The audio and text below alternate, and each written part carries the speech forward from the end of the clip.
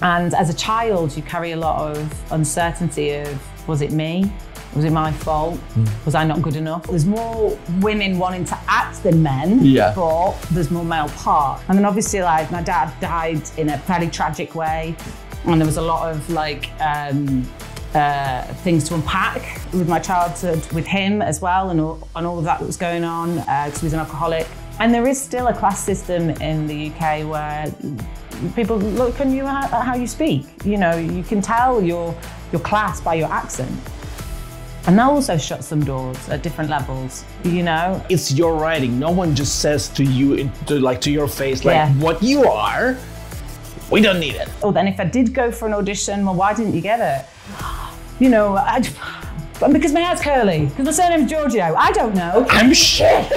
exactly, exactly. But it does then make you think, oh, well, maybe I am shit. Changing Tides. Mm-hmm. So the short film that you wrote, you directed, and I, as I understand, it's a very, very personal story for you. Yes. That's the, that's the struggle, and that's what I want this story to show is as a person that cares for someone with an addiction, it's that roller coaster of emotions that you go on. It's not a commentary on how people become addicted, it's a commentary on the lives of an addict. He was just a flawed man. He was hmm. just a very troubled, depressed man. Find out what's happening in the industry. You need to, if you really want to be in it, you need to be in it. I'm Andrey Rogozin, and this is Beyond Reel Talk, a podcast where I invite real entertainment industry professionals and ask them real questions. What are they actually doing? Why are they doing it? How are they doing it? And how can you start doing the same thing? And my today's guest is an actress, writer, director. You might have seen her in Casualty, Coronation Street, Holby City, and The Inside Man, where we met, Kathryn Georghiou. Thank you. Hi. How are you? Well, it was correct? it was all correct. Yes, um, and you pronounced it correctly as well, Georghiou. Nice. All right. Thank you for being here. Uh, it's basically right now. It's almost like my round. I'm doing the round of uh, you know episodes with people people from the Inside Man. Uh, and thank you for for inviting me into your lovely home. Usually I start uh, with how was your childhood, you know, and what pushed you towards this. Right, yeah. This uncertain industry. I mean, yeah, because Yeah. like, who, when, did you decide that you know what I need more rejection in my life? Yeah, and it's funny because I keep choosing diff- like career paths recently with even more rejection, like writing and directing, and there we go. Um, so I, um, I'm from a very working class family uh, on the outskirts of Blackpool. Um, no one in my immediate family did anything to do with the arts. Um, my dad was a fantastic storyteller, uh, but he didn't really do anything to do with the arts. So me and him used to make up stories together um, when I was very little. And then I was always nagging my mom that I wanted to go to drama school. So, uh, not drama school, drama club. I didn't even know what drama school Why, what, what, like, why did you decide that you want to do it? Um, well, so we always had a dressing up box at home. So mum would like go to, um, being from Blackpool, we've got a lot of joke shops and um, and obviously lots of charity shops. So mum would go there and uh, she'd get wigs from the joke shops and she'd get outfits from the charity shops and we'd have this big box that we used to dress up in. And I used to nag my two sisters, I'm the youngest of three, to death. So we could go out and play. They were happy to, but I really loved it. And I loved this dress up. I love make believe. I love stories. And so I really wanted to get into a drama club, but we didn't have any in our area at the time. And then this girl started at my primary school, um, and uh, her mum did a drama club at the YMCA in St Anne's. So me and her became best friends, and it was just like really uh, like fortuitous that her mum also did this drama class, um, Marion Campbell, and I, I gave her a part in my first short film as well, very small part. Um, so she was my first ever drama teacher, and I just loved it. I loved making things up. I loved the improvisation of it. Um, I got my first stage appearance when I was, I think I was seven or eight, and I had to walk up through all of the audience, uh, ad libbing about a, um, a dog biting my bum as a postman, and I loved it. And then from then, I really got the bug. Um, and then when I went to the theatre uh, with that drama group, I'm just seeing things and just I was so mesmerised and just being, I want I want that I want to do that. Um, yeah, so that I guess that was it really. All right. And uh, where, where did you go to study? After I left um, secondary school, I went and did a BTEC in performing arts at Blackpool and Fylde College. um, because I didn't want to do A levels, much to my careers advisor's dismay. She was uh, telling my mum that I'm, I should do A levels, I should do A levels, I've got the results for it. And I just didn't want to. I, don't- I, I just wanted to act. I didn't want to do anything else. So what was the point? And thankfully, my mum was very um, supportive of that. So I did that for two years. And then from there, or whilst I was there, then I started to learn about drama schools. I started to learn that it was possible that I could go. Possibly. It's just a- minute chance that I could maybe go to these drama schools that I'd heard of in London. Um, so then I started auditioning for drama schools and um, also for universities as well that did acting. Um, I came down to London and um, went to an audition at Mountview, which used to be just down the road, hence why I've never moved out of the area. Uh, but now it's in Peckham. And um, I just loved it. I loved the feeling of the place. I loved the attitude of the place. Um, yeah, so then I auditioned for that. I What, can, can you tell me a little bit more about the process of auditioning for, for drama school? Yeah. Yeah. Okay. So. I mean, not to I know everything, as I always say on my podcast. Yeah. But to the listeners. well, so this was about a thousand years ago, so it might have changed. Might have changed a bit by now. But um, so you pay. Actually, Central has just done away with this now, which is good. But you normally have to pay per school to audition. Um, and then you have to travel overnight to get there. And various different schools have different ways of doing it. So I'm not going to name and shame any of the schools, but there was some who were very, you know, you get you get 10 minutes in a room, you have to do a monologue, a song, uh, and then that's it. Buzzer, you're out, or it was back in that time. Um, and but Mountview, on the other hand, was a whole day workshop. And it was, uh, so you really got, and I think some, there was something wrong with my train, so I missed part of it. And then they let me stay behind and, and showed me around and did more things. And so they really took an invested interest in me. Um, but yeah, some of the some of the drama schools were quite brutal. Uh, some of the drama schools back then they don't do this anymore now, but they stripped you of your accent as well, and everybody would then have to talk RP like that the whole time that they were there for the three years. I've heard about that, yeah. Yeah, whereas Mountview was very much uh, RP is an accent, uh, which is another reason why I liked it. Um, Which is, correct me if I'm wrong, but I think this is kind of more of the path that in general the industry is taking right now Yeah. because the industry wants authentic, proper accents and then no, not like strip everyone, you know, of anything that you are. And Yeah. then, yeah. Uh, absolutely, and that's the way it should be. But it, it wasn't at the time when I went. It was very much um, there was this uh, suggestion that you need to be a blank, a hundred percent blank canvas, so you can be anyone, um, not tap into who you already are. Where, it's flipped now, and I don't know. Maybe in a few years it will go somewhere in between the two. Who knows? Who knows? Um, but yeah, so drama school can, can be quite brutal because there's hundreds and hundreds of people going for the parts. Um, and then ultimately, mm, it's about 30 people that get a place in the end. I- And I mean, it's often actually, it's often thousands that go for it. So in my year as well at Mountview was the first time that they'd done a parity, uh, equal parity on male and female of 50% each. Whereas every other year, it'd always been more males because, Oh, really? well, because there's more male parts. Interesting because, like, I'm, I'm, from what I know right now, like from what I've heard right now, I'm not hundred percent sure it's true, but like, and even from my experience, very often, like the classes that I take, that the you know the courses that I take, there's more uh, women than men. hundred percent. No, there's more. There's more women wanting to act than men. Yeah. but there's more male parts. So at Yeah. the professional drama schools, they would take more men because obviously they are also marked. Every university in the in the world is um, marked on uh, graduation success rate. Okay, yeah, So obviously, if there's more male parts, then you're going to have more male men doing who are successful. who are, who are going to be successful, which then helps their quota, which then helps their funding, which then helps their Interesting. I've worked in higher education also for 15 years, so I now know all of this part of it as well. Um, but yeah, so so it was really hard to get in. The first year I got in, but I kind of, I think I was just so desperate to get a place that I said I could have gone without a scholarship, which was a complete lie. I absolutely couldn't have gone without a scholarship because even back then it was 30 grand a year. Um, And there's absolutely no way that my family. I mean, I moved down from Blackpool on a megabus because we couldn't even afford the petrol. So it was like there's no way I could have afforded to go. To I'm, I'm guessing you didn't take too much of your own stuff with you. no, no. Me and my mum had had some suitcases, um, and then uh, I always have this vision of us waiting when we were at Victoria Coach Station, and um, there was one point when we had three cases. So she'd take one, or I'd take one up, have to leave it up there, run down, get another one, take it up, and then mum would take the last one up. Yeah, like a yeah. belt. Um, so then I uh, then I decided, right, I'm going to take a year out. I was distraught, obviously. I found out the day that I was doing my driving test, and I was just like, just didn't care. Just it was telling me to do stuff. I was like, what? And I just didn't care. I failed. Uh, the driving test as well, and then um, so then I took a year out, uh, travelled for a bit, and then and applied again, and this time put down that I um, I have to have the scholarship, but I had backup plans. Then if I wasn't going to get in, I wasn't going to take more years out. I was, Then I would have gone to um, universities and whatnot.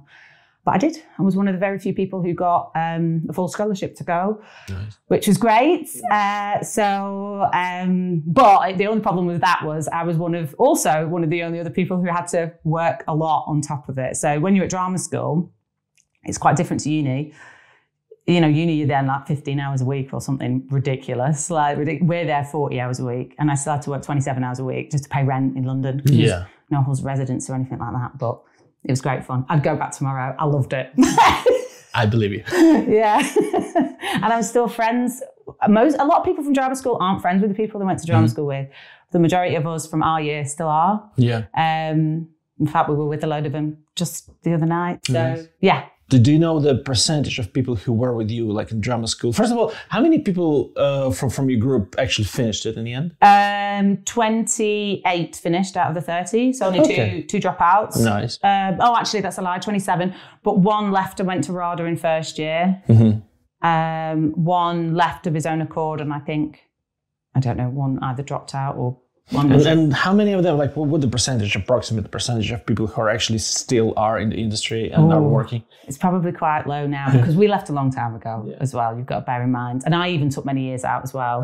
Um, but I think it's it's yeah, it's probably quite low from our year. Um, but from the adjacent, um, uh, what do you call a musical theatre year? M- most of them are in the West End and stuff now. Yeah, but we were we were the actors. We were the, the smoky, smelly, drinky actors. Um, Artists. yeah, yeah, exactly. Um, so, but I, but for me personally, because I did take many years out and um, and then became quite successful in business, and I actually think that working, that going to drama school, learning the arts, learning the art of storytelling, I just think it's useful for so many different facets of business. So I don't know when it's like, are they still in the acting industry? No, but are they still being successful using it every day? I'd say yeah. Mm, nice, nice. Uh, so, and the, you said you, you took a pause. Like, so what happened next? Like, did you find an agent straight away, or like how? how No, I didn't. I didn't find an agent straight away. Um, and I got a couple of bit parts. You said about Holby City, and I got Waiting for the Dead. My first thing was being drowned in the bath, first time on TV. Um, and then um, I. So then I got yeah. So then I got an agent a bit afterwards, a bit later. I didn't get one straight from drama school, um, and I was still getting a few bits and pieces here and there, some bits of theatre and things, which was good.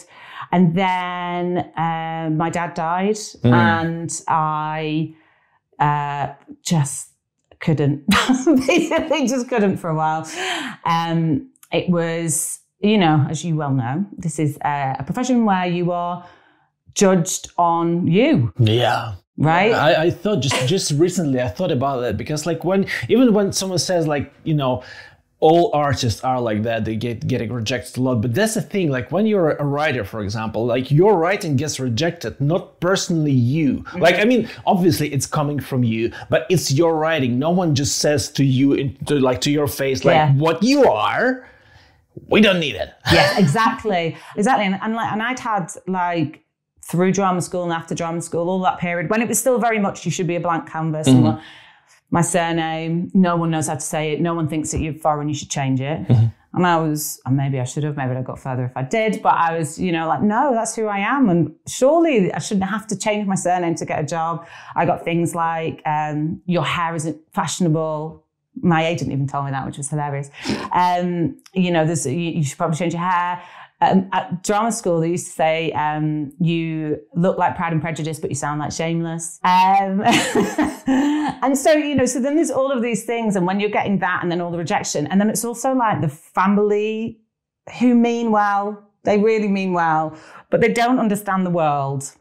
And it's not like when you're going for a corporate job or any other job where you get an interview and if you haven't got four interviews and you maybe need to readdress what you're doing, if you haven't got four acting jobs, you, that's fine. You're nowhere near it. Whereas it's like people who aren't in this profession don't get that. Mm-hmm. So then, so I was already feeling a bit insecure about myself and then having like family members continually ask me, well, when are you going to get an audition? When are you going to, like it's I, like I can't get an audition. Like it's not like I'm taking them out of the thin air. Like I'm not creating exactly that, exactly that. And so, and it wasn't really always understood. Or then if I did go for an audition, well, why didn't you get it? You know, I, because my hair's curly, because my surname's Georghiou. I don't know. I'm shit. exactly, exactly. But it does then make you think, yeah. oh God, maybe I am shit. Yeah. Actually, maybe I am. And then and then obviously, like my dad died in a fairly tragic way, and there was a lot of like um, uh, things to unpack with my childhood with him as well, and all, and all of that that was going on because uh, he was an alcoholic, and that's what killed him. Um, and and then as a as a adult child of an alcoholic as well, and you're also then left with lots of other questions of family members and things to process yourself, all of these things. And then once you're getting all of that, plus all of this rejection, plus all of these other people not understanding. I was like, I just, I can't do it. I just don't have the mental strength. And um, so then I took many years out, basically. Mm. And what did you do? Uh, so I started working in, uh, I've been temping in between acting jobs at various universities. It tends to just be, I, I, don't know why, it just tended to be universities. Mm. Um, and uh, then I was offered to do to go for an interview. Oh, I was so reluctant to go for an interview for a full time job. And I was like, because that's like me then. that's me saying, okay, yeah, I'm not good enough. I'm not, and I'm not going to do it anymore. Anyway, I went for it, got the part, got the job, sorry. And, um, and then I thought, okay, so maybe this is the universe telling me that I am right to take a break and just do this. Plus, I was so bored of not getting paid anything. Mm. I just need some money. So I did that, worked at a university at London Met, ended up being there for seven years, I think. Um, started off, as I said, as a temp, did um, like corporate engagement stuff, then was like um, manager of admin in one of the faculties. And then um, but as part of that remit, I did like loads of things. So I did timetabling and finance and all sorts of stuff. And then from that, uh, went to LBS, someone that I, uh, London Business School. Mm-hmm. Someone that I'd worked with at London Met kind of poached me, sent me a little message going, oh, there's a job for you. Uh, so I went over there, did all the timetabling stuff there, and then got promoted to project director, then director of engagement innovation.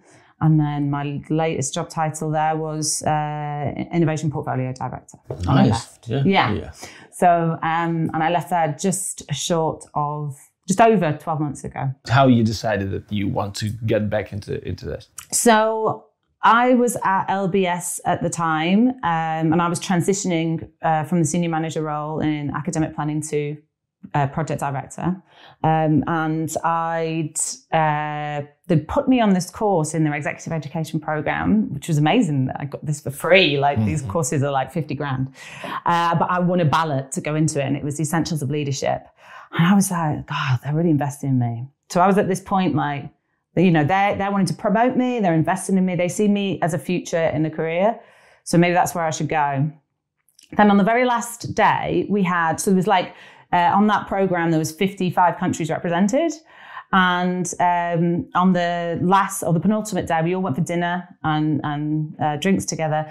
And it was at the Arts Club uh, you know, the theatre bar. No, that, the one that Jim sure. loves with the karaoke. Anyway, uh, wait a second. Phoenix Arts Bar. Yeah, yeah, yeah, yeah, yeah. Of course, I remember. We we had the the, the screening screening for season two there for yeah. the Inside Man. For the yes. Inside Man, exactly this. so so we'd had uh, some dinner that hired it out of the bar. We'd had a dinner together, and then it was the open mic night that Jim always loves to go to. So some of us stayed to listen because the singers are fantastic there.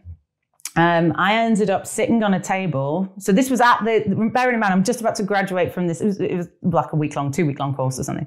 But I'm just about to graduate from that. And, uh, and then I sit at this table with Jim and me and Jim just crack each other up all night, really making each other laugh. And he's like, I'm just about to start casting for a series mm-hmm. and um, there's a comedy character and I really want you to come and audition. And so I did, and then that's how I got the part. So, so basically, the Inside Man and Jim Shields, that's what brought you back to acting. Yeah. Well, yeah, exactly. And so, and so, but then the thing was though, is that even then for like the first sort of two series, yeah, the first two series, I was still unsure. I was like, mm-hmm. is like, I don't know, maybe, maybe I'll just do, use my annual leave and just do that mm-hmm. as, you know. But then we had COVID and then COVID hit and COVID was crazy. Um, and I was working, I, oh my gosh, such insane hours. I can't even tell you in a condensed studio flat. And um, oh, COVID, honestly, COVID, COVID broke me. Yes. like very, very strongly because first of all i remember like after season two i remember jim shields saying like oh you know we want to bring you for season three but then covid season three is much smaller like there's less parts etc but also it's just like i was i was working as a designer from home. Mm-hmm. I'm renting a room. Yeah. And this room is just my working station where I sleep, where I eat, where I rest. It's just like a prison cell. I got, I gained so much weight. I stopped exercising. I got depressed. I didn't know I was depressed. Then I realized I was depressed and like, oh, well, there's too late to do something with that. And it's just like right now I'm still, I'm still in a place like I'm not over COVID. I need to get back to my older self because I'm not, I don't feel comfortable as a person. yeah, right. Well, this and I think that was the same with me. So it was like I was working. Thank God I had this wonderful team of me and three other ladies who were like my sanctuary, whilst everybody else was being torrid. Like it was. Honest to God, you, some of the people, some of the students were like acting as if it, like we'd created this. It was like our fault, you know. It was like people were being quite mean, and so um, so I was working, I only had 10 days off on that year of the first year of COVID. Um, and I was working sometimes on a Saturday, sometimes 12 hour days. It was nuts. Um, and then, and so but I knew in my heart that I still sort of wanted to do the acting. And, um, it never ends. No, no, exactly. And then I had a coach. So I got a coach, uh, a career coach. And that was my first question to her was like, I don't know if I should, because because of COVID, the business school had seen even more what I could do. And so then they were like, oh, we need to promote her even more. Like mm-hmm. she's very capable. Mm-hmm.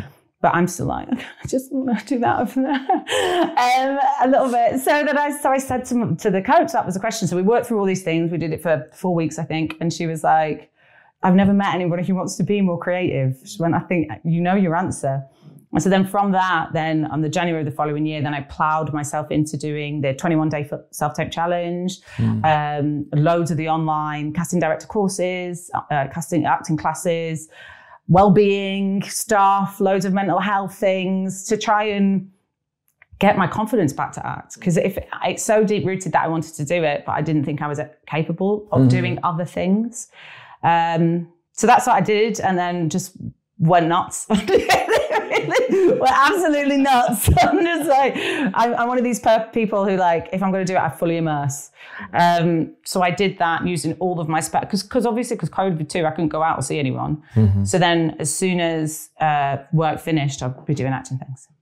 Um, yeah, and then it just realized that like that's just yeah taken over. What about the agent? Uh, like, are you back with the same agent, or you found no? I'm with a different agent. So I had a um, kind of so I left that agent when I decided this because um, she was lovely. She was great. We'd been together for many years, but it was time to leave. I think sometimes also when you've, I hadn't had castings for a while and, you know, just, it was just time for both of us. So we left very, very amicably. Yeah. Uh, and then um, I, the, my current agent that I've got now, I actually did going full pelt on everything. Um, I did a class with, um, do you know Ronetic Shouting? No. They're really good, really supportive. Um, and I did a six week class uh, with Philip Ridley uh, scripts. And it was Philip Ridley, if you don't know, he's a bit like the living Pinter. He's like this insanely amazing. I've got all of his plays. Um, and he wrote the this special monologue to be taught in this class over six weeks. Um, but we were all embargoed from sharing it or anything. Anyway, weeks, months later, um, they run it Shouting and putting on a show, which was one of his um, one man shows. And at the end of it, they'd selected some of the students who'd done the various classes of Philip's to him to write monologues for them, and we performed them at the end of this special night. Uh, so after we filmed season five of The Inside Man, uh, seven days later, I did that monologue. Um, mine was like eight minutes long. And yeah, I loved it. And then and my agent was in the audience, and that how I, that's how I got her. So I've only been with her for like a year and a half. Yeah, how's it going? Yeah, I just think she's great. Really, really like her. Really, um, yeah. I feel like we work well as a team, which is so important. I've been with another agent in between that period, um, and uh, it felt like like it should be a business partnership, and it didn't feel like that. Like this is ultimately my career that we work together on, you know. Um, and I think that sometimes where um, if you pick the wrong agent, it doesn't work in that way. So yeah, me and her work really, really well together. I think she's great, um, and I'm. I don't know. I've got this feeling in my stomach that something good is coming. I just Oh, don't know yeah. what. And when? yeah, and when. But I don't know. I'm just like, it's crazy to say it, isn't it? But I've just got this feeling that it's Yeah. all going to be, be good. You when have you decided that you want to write and how you learned to write and Yeah. So, well, that's an interesting one as well. I, I, nothing, as you'll probably notice from this chat, nothing goes linear for me. I need to do this for a while before I figure out what the bloody hell I'm doing. Um, so, when I was at London Met in um, one of the jobs that I had there, uh, they were just about to. So, the first permanent job I had, the one that I was a bit reluctant about going for at first, what they used to do at the time is because it was an old polytechnic university, which we now call post 92 universities. Um, and what that means is they're this new breed of universities, and they're very much aimed at uh, the first family member going to uni. That's like sort of their USP, if you will. Um, which uh, as I understand is like more for kind of working class. Working class, yeah, exactly. And so what then they used to do as well then is all staff, permanent staff, could get a uh, qualification that was higher than the last one that they had for free. Like, I am sorry, what?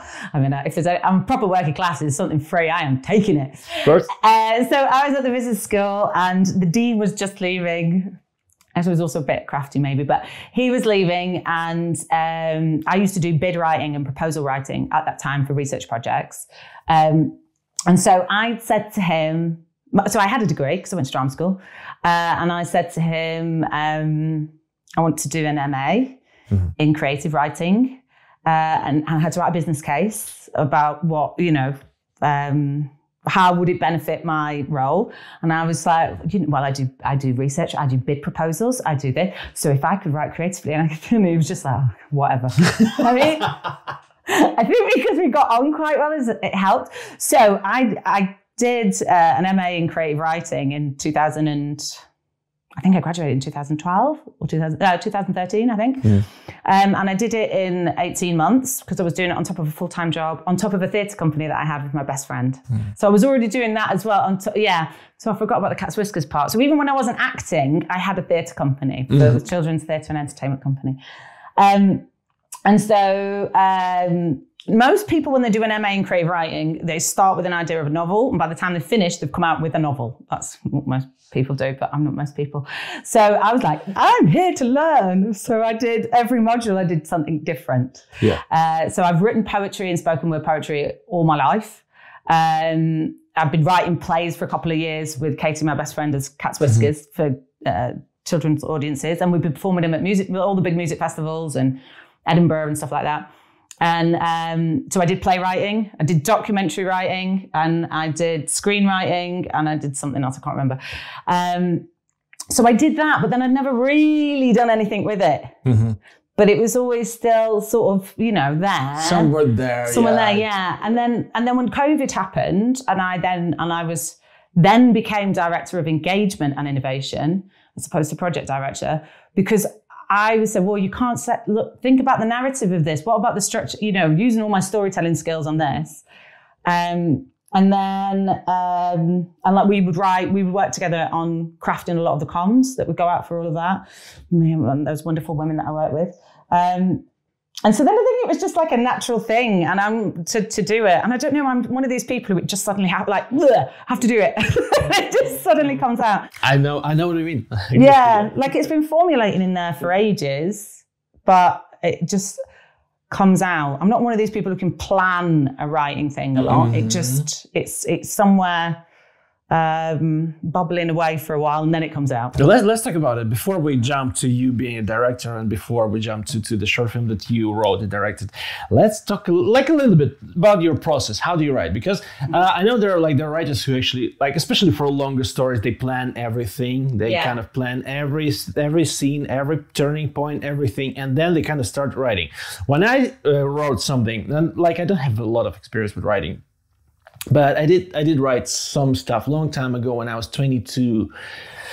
I was writing this fantasy short stories, which were not bad because I, I kind of wrote for some um, writing contests, like, and I kind of I, I got some good good feedback, but it was like back long, long time ago, like I was writing in Russian. Then uh, a couple of years ago, I tried to write something in English, which obviously is harder for me because it's not my native language. But in the end, it never got anywhere. Uh, I do have like a script for a feature film right now, like that could be like the cheapest feature film that you could film because it's just two people in an elevator. For, uh-huh. for an hour and then two scenes one before and one after that's it uh, but basically how i write like i just have the idea. Yeah. Maybe not even the idea for the whole thing, but I have this scene, I have a conversation, I have few lines between two people, and I'm like, why they say this this lines, and then like I have the scene, I kind of think about it more and more and more, and I see the whole like the, the, the whole dialogue there and what it's about, and then I started thinking like, how did we get there? Then I have like another scene that's like somewhere there. It's like in the beginning, you know, and then in the end, and then I have like these few scenes, but I don't have like a whole story. And when I start writing, like, but the, I start writing only when I like, you know what, I can't, I just have to do it right now because otherwise I, I can't do it. And then I kind of try to connect all the all, all the dots. Mm-hmm. Uh, what, how, how is it for you? First thing I want to say is just because you didn't get anywhere doesn't mean you should stop. right. Right? Carry on and just keep going. Yeah. Um, uh, so with me, it's very more, I don't think I have a, a lot of people, because I read a lot, uh, I listen to loads of podcasts, I listen to, yeah, as I say, I like to fully immerse. Um, because I always think that you learn most from bits of others. I don't follow a whole path of someone. Mm-hmm. Um, because I, I don't, every time I write, it's different. So the last two shorts that I've written, I, much to my boyfriend's dismay on the last one, because he was living there, living here at the time. Um, I woke up at four o'clock and I, I have to write this now. It's got, not, it's just formed in my sleep, and but it's, but I've been thinking about it for months probably you know so in so probably all the people you know when everyone does all the like beat sheets and the things and that i'm, I'm doing that in my head while i'm walking. Yeah. Um and then but yeah there is a, a bit of a knack of me getting up at 4.30 and just having to get it out just spit it out of me the first time. And obviously the first draft you can have to change a million times. Um and but it tends to be like you that it's it's like this overwhelming i have to do it now. There was even a time when i was on my walk and um, I was doing some exercise something. And I had to go to a shop and buy a notepad and pen. oh, it's come! Get it out of me! like, um, so it's quite like that. But uh, like, I'm also writing a play at the moment that I'm trying to be more structured with, and and I'm struggling with it more because of that. I think. Mm-hmm. Um, so yeah. I don't know. It's I'm a bit. It's a bit useless, isn't it? I can't really like. I don't. I, I think the first thing is get it out of you. Mm-hmm and then put a structure on top of it. You know, I, I would say like get, um, but also, yeah, I already kind of know how I want it to, because I've been thinking about it for so much that I kind of know what the arcs are going to be and what, and I've questioned myself, but why would they do that? And is that how, but what would that be? And that, whilst I'm walking, you know, so then I suppose then the first draft is already is already in a shape and then you can just go back on it again. Mm. I think they've got to live rent free in your brain basically. That's that's the way that's the way that I would say that you need to do it. Um, and then just be leave it for a few days, leave it for a week even or, or longer, and then come back and then look at it like like periscope up. You know, you're not. It's not. Don't be personal about it. It's now a story. Ah, that's the thing. Like this for me. Like I don't know about you, but for me, that's the thing. Like it's very hard. Not first of all, how what, what do you mean? Like not to get too personal about like that's the thing I created. Of course, it's personal. But then yeah, like for me, I need to, I need some time. Like just not to look at it at all. Yeah. Just even forget about it. Like for, forget most of it. Then when I read, then I kind of like I can feel like oh actually that was good, and they're like that's stupid. I need to change that. Yeah, yeah, yeah. No, exactly. But I think that uh, distance and time gives you perspective, definitely. I think it's like, you know, it's the old adage, isn't it? Like, if you're angry, pen them a note, but never send it. You know, Oh, it's that kind don't put anyone in the address line, but it's, and then you go back and go, ooh, okay, well, we'll change that. And we'll make that, you know, and I think it's the same with writing. It's, you know, your first draft is is yours. It's not no one else's. That's personal. That's not like, yeah, don't let anyone see it. That's like showing them your underwear drawer. Just, you know, it's all messy and whatnot. You're gonna it's like it's not tidy yet. And then you're gonna make it all look nice, you know, and um yeah, don't also the other thing, when when you look at it with fresh eyes, is you've got to take as an actor, I think, so I've either got to read it as, okay, if I was acting this, what would I want? Or if I'm directing this and I didn't know it, what would I need? So things like things that I'm working on to get better at as well is because obviously I've, I've directed what I've written, so I don't have to necessarily be as descriptive in the action points. Um, but I need to be better and stronger at that because I maybe they're not going to always direct everything that I've written, and it just it's just best practice to learn it now anyway. Um, yeah, and then just follow loads of Twitter is brilliant. There's so much good advice about writing on Twitter. I need to get on Twitter because Oh. or, or X. I'm sorry. X, sorry, X, Uh, yeah. I kind of yeah had the account on Twitter for like I don't know if it, whenever it, it, launched, like I had an account there, but I I don't really use it at all. I Oh, don't know why. I like I'm I'm like I'm the old old school. I'm like Facebook.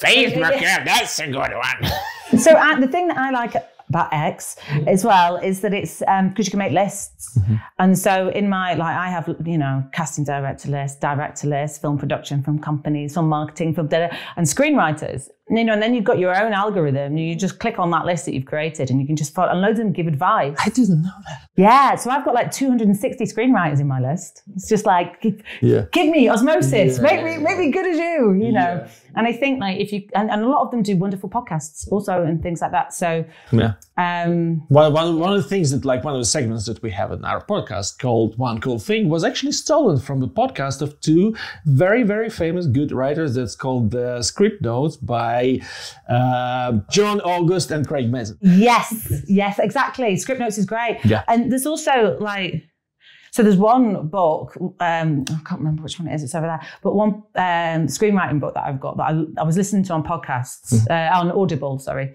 So whenever I was out, I'd be listening to it. And then it was so good that I was like, I need to buy the book as well. And so write notes on the book and then listen. So I think there's such a, what you don't have to nowadays, you don't have to pay to go to, Yeah, it's true. to train. We, we have so much resources Yeah. right now that available for us just Yeah. for free. For free, You, exactly. like, the only problem right now, like with in comparison, if you like take some free stuff that like free information that you can find, uh, in comparison to some structured courses, you have to structure it. You have to like you have like the, because there's a lot of information, but it's like very kind of random, and you don't know what you will get like at this point. Yeah. So it might take you longer, but it's all there. It's all there. No, it is. It. I think it's also it depends on your learning style, is what I would say. Also, like if your learning style is you need to have someone with you to check your work, then self study is not the one. Whereas my learning style is very much tell me once, go away, and now I'm going to practice, and then that's that's the way that I learn. So I think that the um, the online stuff, yeah, if, if that's your learning style, I think go for it that way. But even like if you learn yourself, if, if you need someone to like, I, I agree. I think like I, I need people to look at what I do and then tell me if it's good or bad. Mm-hmm. I like when they say it's good, but like when they say it's bad and they say why, I also kind of appreciate it. But to start, like there's like even just to gather the information to kind of figure out what you want to get, like and, and just to realize the even the, the first steps of the industry you want to learn in, like it's just there's there's a lot. Because most people, when they start doing something, especially creative, they have no idea that like every creative profession is a profession, it's a skill, and there is a lot of rules that like, well, I don't follow the rules because I'm special. You can break the rules when you know the rules and you know why you're breaking them, but you need Yeah. to learn the learn, otherwise it's just a mistake. yeah, absolutely that. And people will see it as a mistake. I think because that's for me when I took that time because I'd had such a long time out and I'd been luckily doing the Inside Man, but I hadn't been having any other castings or doing anything else. It felt so on the acting front. It felt so like over there. Like, how do I even get to that? I don't understand it. Um, but luckily, and, and it was quite funny because it was like I need. I was doing like innovation workshops at, Lon- at London Business School, one of the best business schools in the world, and I'm like doing leading these workshops and stuff with to do the strategy for the whole school, and I'm like.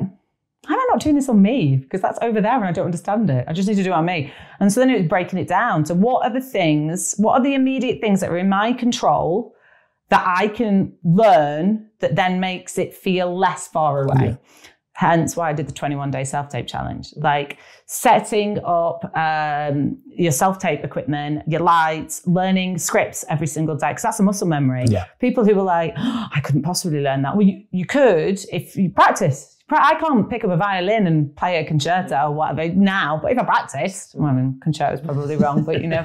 Um, but yeah, and so it's those sorts of things. So what then? What steps can you do? So then it was like, you know, if I did the 21 day self tape challenge, then doing the workshops, oh, get to know what the casting directors do, then get to know, and it's the same. It was the same with writing. I don't know. It feels so over there. So what do I do? Well, what are other people doing? Read about it. How do they structure it? What's the start with the tried and tested ways, and then go, oh, actually, this is more my way. Uh-huh. But you know, you know, and do it in that way. So find out what your, yeah, what are the things that's in your control, uh-huh. and then manage them.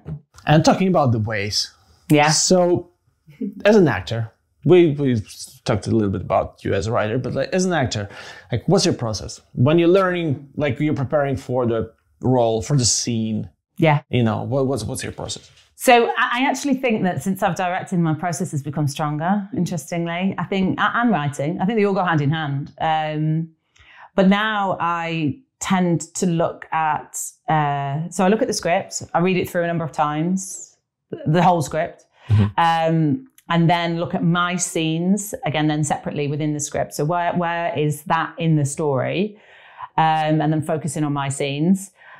And then within those scenes, then I will, if it's a brand new character, obviously if it's Fiona, I know Fiona really well, Fiona the Inside Man. Uh, but um, so I don't have to then think like, oh, what's you know what's her life story? No, because I I know that already. But if it's a if it's a script that I don't know any of that, then I have to think about. Well, first I go from what they used to say was given circumstances, but I think um, which is a Stanislavski term that they use at drama school. I just think facts. It's just facts. What are the facts in the script? Yeah. Let's just use normal language. So the facts in the scripts are I said, or, uh, you know, or, or there's a, I've done an action or I'm saying something or someone else is saying that I'm tired. I'm a ti- I've got a kid, I'm exhausted, I'm a single mom. I'm okay, so those are my facts. So then I've got, oh, I can I'm understanding. I'm not a single mom, but I, I understand how hard it must be. You understand exhaustion? Right, I understand exhaustion. And, and you know what? I probably don't even understand exhaustion to that level. So it's like, okay, right, now. So then also holding the things together. So that gives you a platform to work on from there and the starting point. So then what else are other people saying about you or not? Or what are you saying about yourself that someone else is differing mm-hmm. from? So, but if I'm saying it, then that is my truth. But if someone else is saying it, okay, then I've got an opposition. So I'm displaying something else Mm-hmm. that go, which we all do, right? That's we all project what we want people to see, isn't necessarily how we feel inside. So that gives a nice net, uh, floor because we're all flawed, and it adds the extra layers. So you can look at that. So once I've looked at all of those different things, and there'll always be a little bit that'll tell you about when you're first introduced as a character. There'll always be a little bit that'll tell you about who you are as well. So you can use that. And then I start to go through through the subtext. Um, actually, before I do the subtext, what I often do is look at the other person's lines. I tend to learn all the lines, um, and because I just find it easier. That's just the way my brain works. But so if someone says something to me, it's more how do I how does that make me feel? So you know, if you're like um, I don't know, how's your kid doing at school? I'm like, oh shit, about better lie. Uh, brilliant. As opposed, to, do, do you know what I mean? Like, so you know that you've got, then you can get have a, a shift in your eyes or, or how, I don't know, whatever the question can be. Do you want a cup of tea? And Like, yeah, yeah, I really do. I don't, whatever it is, every single line I go through like that. What is, and it's a very simple, it's not like I'm depressed, I'm angry, I'm happy. I just go, what is the, how does it just make you feel? Just, just normal. Yeah. Um, and then I can go on to other things. Then you can go deeper into it. Then it's like, okay, now I'm on this, I'm trying to persuade, I'm trying to antagonate, I'm trying to, you know, adjectives, action words. Um, and then so then you layer all of those on top, learn your lines, then forget them all and someone else speaks and just hope it goes all right. But like when, when you pre- prepare like that, because Yeah. most of this preparation is you're at home alone, maybe with your partner, your friend, like you're preparing this, uh, all this stuff. But then you come to the set, Mm-hmm. and then there is another live person in front of you. Like how how different is your performance on the day in comparison to what you actually prepare at home? I think it oftentimes depends on um, how juicy the scene is. I would say so because if it's a, a big, high emotional scene, then you um, you don't really know. As long as you know this, the the a thought process of it, then you're okay. But you don't really know how it's going to play out because I don't know how the other person's going to act actually. Um, if it's a very operational scene, like you're playing a day player, then it's probably just going to be the same as you did it at home, right? you know, so you don't need to overthink it. Uh, so I think that those there's you know, so obviously there's those arcs, and I think in knowing, it's such an old saying, but it's so true. Um, it, like if you know your lines inside and out, and then it, it doesn't matter how the other person acts. You could they could give you a different read every single time, and you you'd still act off it because you the words are now coming so natural to you mm-hmm. because you've done all of that other groundwork. Because somewhere in your brain, because you've learned the thoughts as opposed to learning the lines. Mm-hmm. So if you've done all of those other things, it's like if I've if I've in my mind or in my work pre-work thought I'm going to lie to you about my child at school, but then I don't know the director's like you're really happy, then that's such an easy twist. Mm-hmm. Um, so yeah, I think it just and that's a play, isn't it? And always ask the other person if you can do a read through, just if you can practice. So then you can go, oh, maybe I have a sense of how you're going to read this. Yeah. Because also the other thing is on TV and film, it's very rare that it's only one and done of a whole thing anyway. Um, so the camera would normally be on an establishing shot wide when you do it the first time. So even if the other actor doesn't want to give you a read through, you're like, I see how you're going to read this. All right, I know where we're going. Yeah, but just still be open to it. It's playing essentially, isn't it? Yeah. Yeah. All right. All right. Yeah. Uh, are there any uh, inspirations for you, like right now in, in the acting world, like the biggest inspirations that you have? I have lots actually. Like I've never been one of these people who's like when they're always like, "Who do you want to be?" or you know, "Who would be? Who do you admire the most?" I ever have one person. I have like lots of people. Um, like I mean, I think Sarah Lancashire is doing some incredible work. Uh, she's always doing incredible work. Um, I had a whole list actually of British female actresses who'd started off in Coronation Street and who are now, you know, Mm-hmm. smashing the world up. I mean, I think like when I watch um, like Anthony Hopkins, um, I can't remember the name of his last film where he played the Holocaust uh, survivor. Oh my gosh. Ah, I forgot. Yeah, Mm, you, you- you'll see it on screen. Yeah, just yeah, he's and watch it. He is ama- that beautiful, just such delicate, nuanced performance that he gives, um, and how you can just see it in his eyes, like wow, you know, that's just so. Um, yeah, so amazing. And uh, I don't know. I think that's that's the thing for me is it depends on what I watch and at the time. More like the most, like the latest thing that actually kind of affected you. Yeah, at that moment. yeah, and so I understand, I understand. I'm the same because right now, like all, all I can think about is the bear.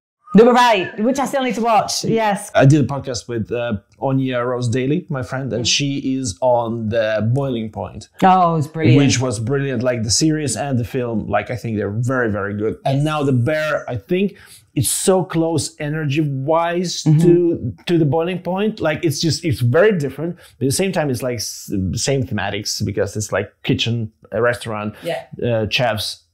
But it, and also the energy wise, it's very close. Mm-hmm. And I just feel like I want another season of both, and then I want a crossover. Oh, and the crowd really that well. would that would be uh, obviously it will never happen, but Yeah. it would be amazing. so I well, we've just started watching um, Baby Reindeer.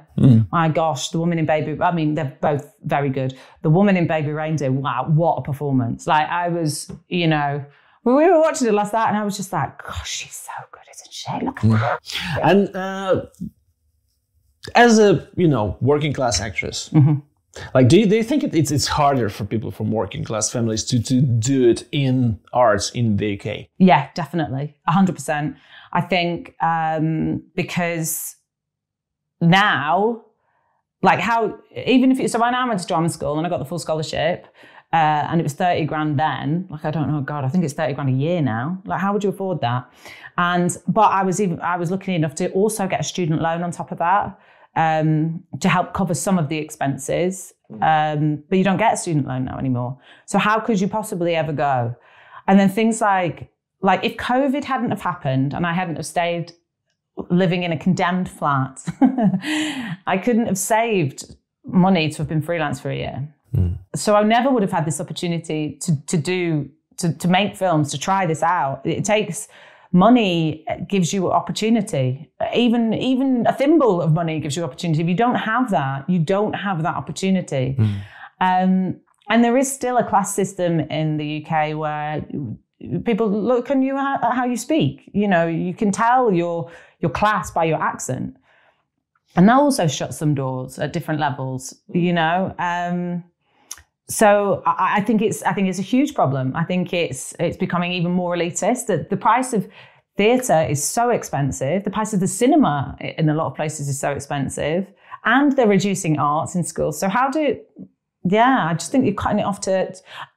Arguably, these people are some of the people that need the arts the most. Yeah, yeah, because I think our like uh, I don't remember. I was watching. I think James McAvoy just recently. Yes. I watched this interview about he's like he he's telling like that that actually for the work class kids from the work class families, arts is actually opens your mind more. You learn more about the world, which you need to get out of it, or just like to because otherwise you just get you, you get stuck. Yeah. Yeah. Well, absolutely. And I think, um, you know, it challenges perception as well, which is if you, you know, if you're from a really working class family, you can't afford to go on holidays. You can't afford to eat in restaurants. You can't afford to go to the theatre, go to the museum, go to gigs, go to, so, so you, your learning is just from that echo chamber, right? And, and so how do you learn any more than that? And then not all working class families, but a lot struggle too. And and art is an es- the art is an escapism, and if that's closed off, I just think it. I just think it's awful, and and I do think it's getting harder.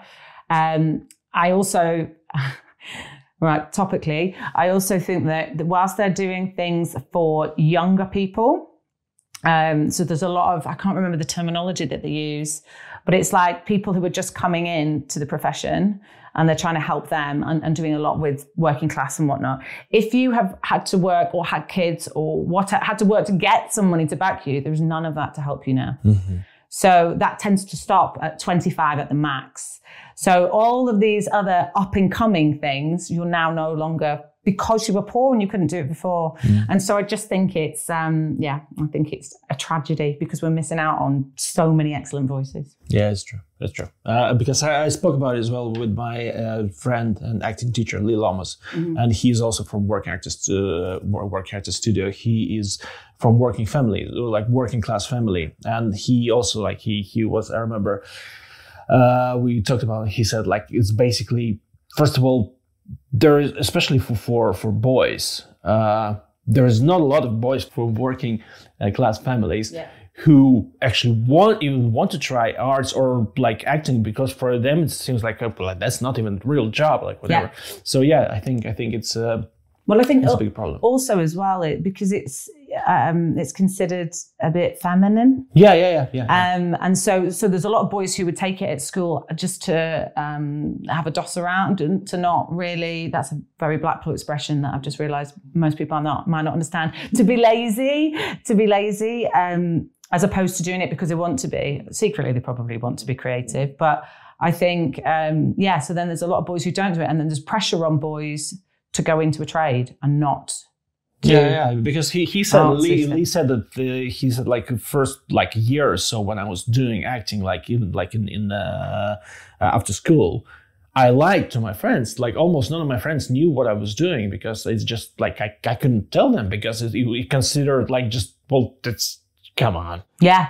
which is that again, then, which is why we go back to when we were talking about drama school before hmm. and and classes. There's more women that go into it, but there's more men that have parts. And again, because when you flip it onto the other side, there was a lot more male playwrights and there was mm-hmm. females. yeah So there's more male part, and so it's this weird dichotomy of like we've got.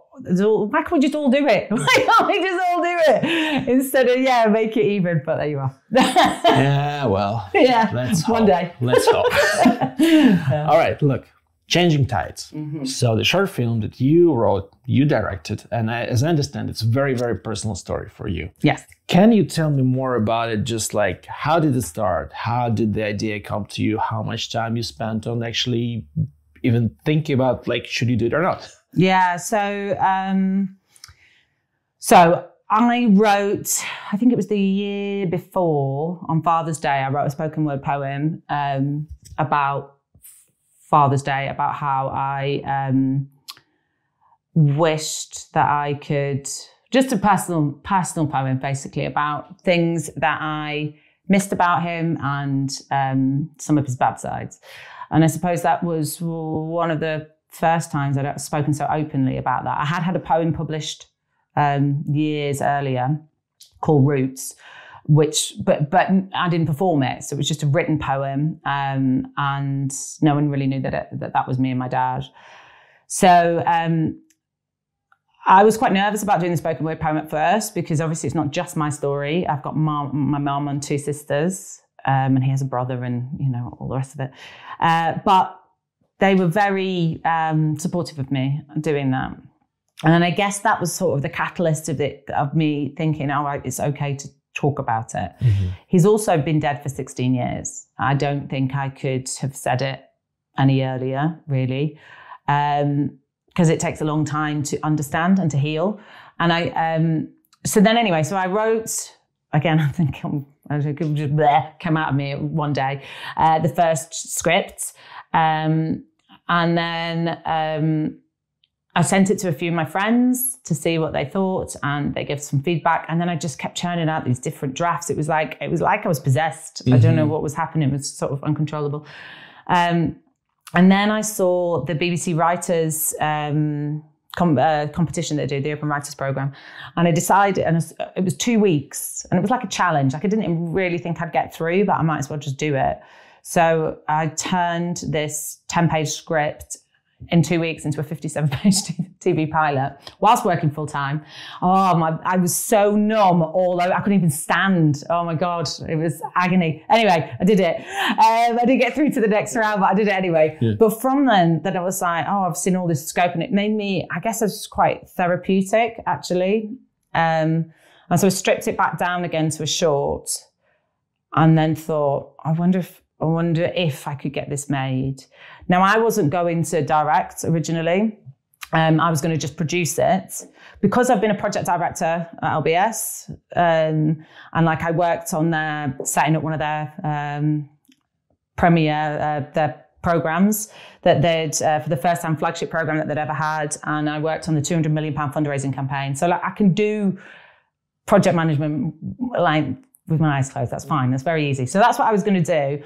And I found weirdly, again, Twitter, X, um, someone had said, put your, um, do a thread of all the up and coming British directors. So whenever anyone does that, I'm like, bookmark. Um, I went on it. And there was a, so I was going through all of them and looking at them.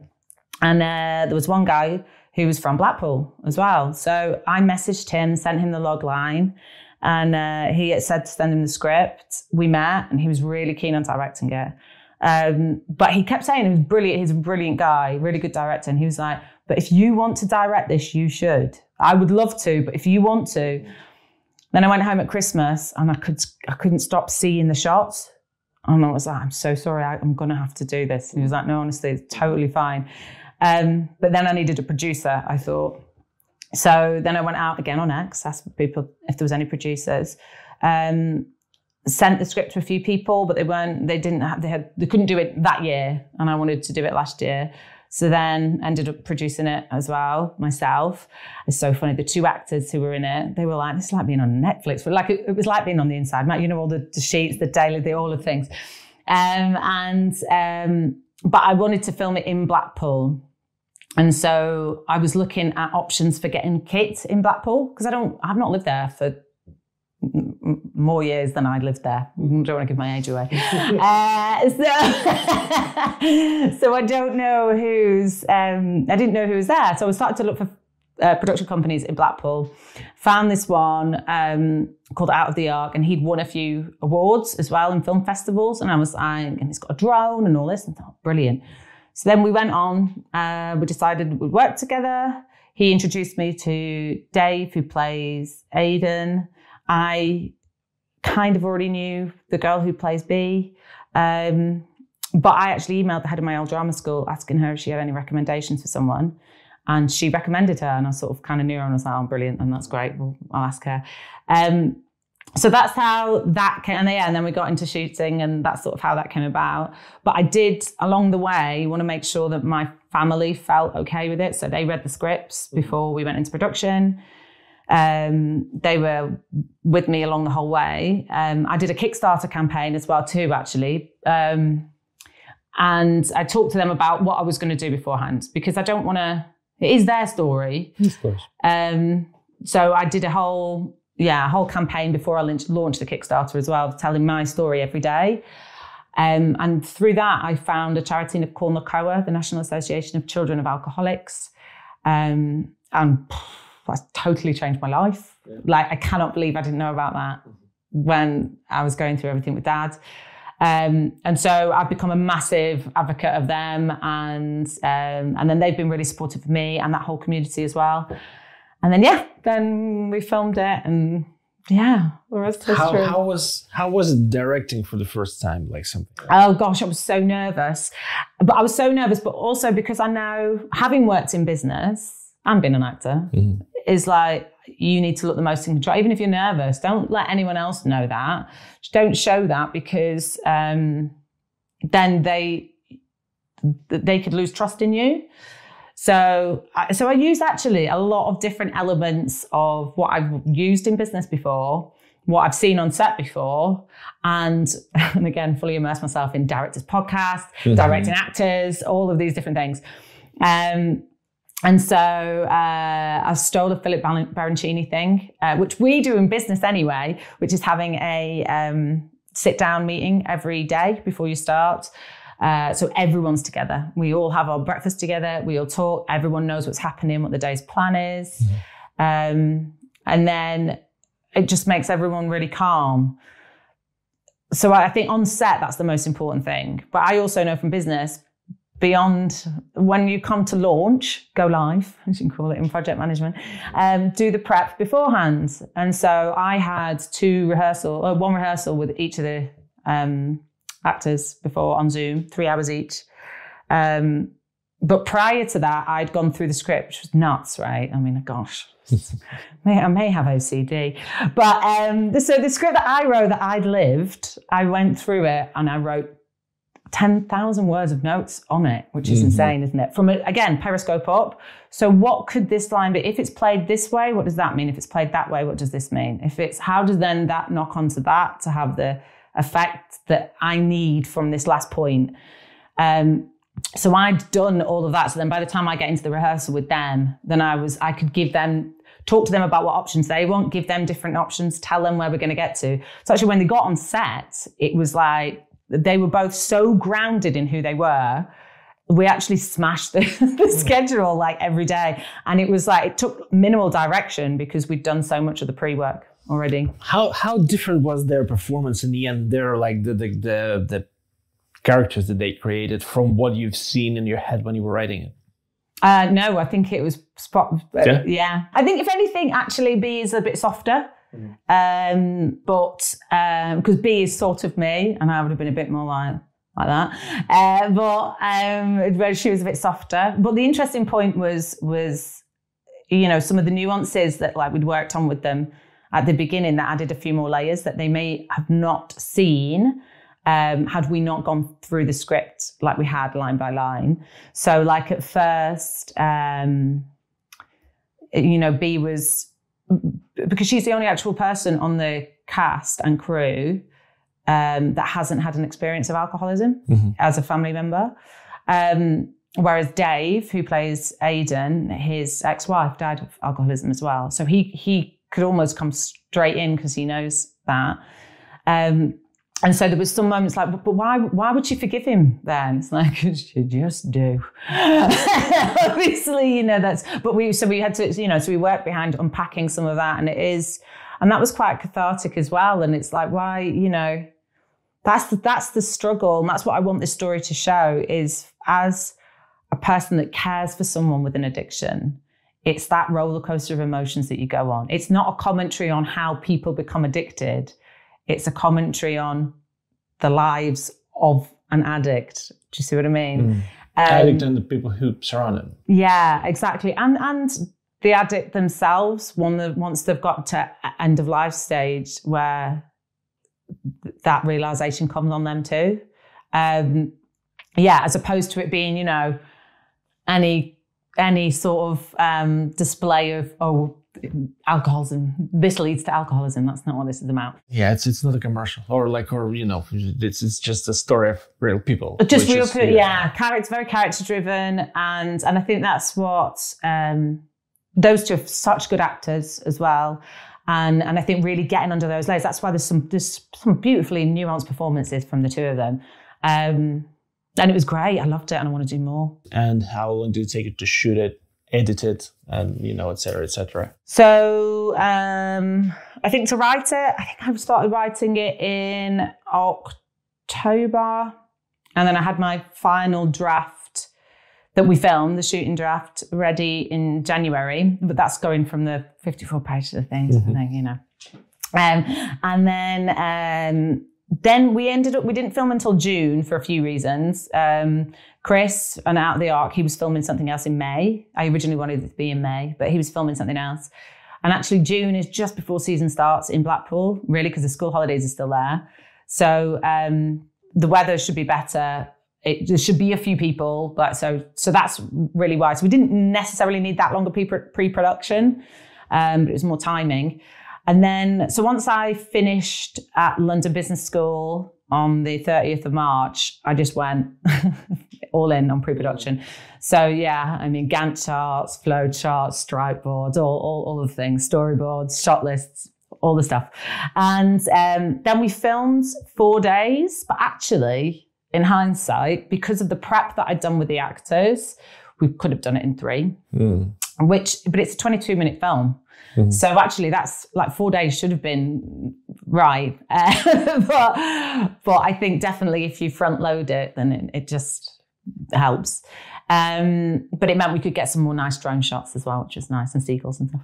Um, and then edit. So we edited and we had, uh, so I don't, you may have noticed from this chat, I don't ever do things by halves. And, um, and I decided to do three screenings. So we're going to have three screenings, partly because I'd done this Kickstarter and not only had people given me money, um, they told me their stories. I had so many people opening up that they'd never told anyone before that their parent was an alcoholic. Um, and, um, and all the NACOA people and all of this. So I decided to do three screenings. Uh, one was September and two were in October. So we had the premiere screening in Blackpool on the 19th of October, and two weeks later, Manchester, two weeks later, London in um, Crouch End. And then, um, so we had to be ready for that, the 19th of September. So we finished in June, had to be ready by the 19th of September. It was ready two weeks before. No, it was ready three weeks before, but it wasn't. it came back and we had a bit of a crisis. So actually, at those three screenings, they were more the um, what do you call it when like the big films test screen? Well, basically test, Test screen, screen, yeah. there you go. So they were more like a test screen, if you will. Um, so after doing those three screenings, then it went back into edit with uh, another editor um, who worked on the sound and the color grading, and then we got it final lock ready on the 5th of February. Mm-hmm. Yeah. Well, it's such a long process. Yes. How, yes. how did you find the crew and people who worked like on editing and everything? Um, so I thought it was the crew. Oh, it was on set. It was so lovely. Um, we all really gelled, and I think one of the important things to say because this was a personal story. My sister was already was one of the runners as well. My elder sister, um, and we wanted to make sure. I wanted to make sure that crew normally accept a job because they want money. Actors accept the job because they like the script. So I wanted to make sure that everyone involved read the script first, including crew, because does it resonate? If they're like, mm, well, that's a sad loser and I don't see the point, I don't want you on my film. Sorry. Not this one anyway, right? Yeah. So we had this, uh, so we had this cast and crew that were all really sympathetic and empathetic to the subject matter, to each other. So it was really lovely. So like we'd and it was blisteringly hot as well, which is very unlike Blackpool. So we'd film something and then we'd come and sit out on the lawn and everybody chat and laugh and joke, but then they'd share their personal stories as well in relation to what we've just shot. And everybody listen and we had a mental health first aider there. I'm a mental health first aider as well. But I thought I might have needed it. So we had another one. Um, and um, yeah, and so then we could all talk about it and we could share and each other's stories. And I think that made it, and then the, and the meetings in the morning as well, it just made it really tight and really, um, just a really lovely script. We're all still in a, in a, a WhatsApp group together and stuff as well. Which, How, how, how do you find them? uh, so I found um, Chris, the guy who was filming Out of the Ark. He brought Adam, um, my boyfriend who's in the other room. Uh, he brought Adam as the unit photographer. Um, he brought the makeup girl, Ellie, um, and he brought Agatha, who was the first aid. He introduced me to um, Dave, who plays Aidan, and I saw his show reel, and I was like, he was like, when he read the script, he was like, I don't, I hope you don't think I'm out of line, but I think this guy would be quite good. I've known him for years. I watched it, I was like, oh my God, he's perfect. Um, then, as I said, with, I, I contacted the head of Mountview, who I still know. Um, she recommended Natasha, who I already sort of knew a little tiny bit. Um, Marion, my first ever drama teacher, she was the paramedic in it. So I contacted her and asked her. Um, Anton, I asked, I was doing another acting job um, and I overheard somewhere, so he was chatting or something, and everyone was saying where they're from. He was a runner on it, and he said that he lives in Blackpool, and I was like, "Do you? Are you free in June?" And he was lovely, and so he came on board. He was a runner and um, transport, and then crazily, we were at the Inside Man premiere at Leicester Square. So I'd been doing my fundraising campaign, thinking as well, like, no one's really going to be interested in my two bit first ever film, you know. We're at the premiere, and Trinder, who's, as you know, is our DOP, fantastic DOP, uh, came up to me and was like, mate, I- can I, can I film your film? I was like, sorry, what? oh, uh, I've already got someone.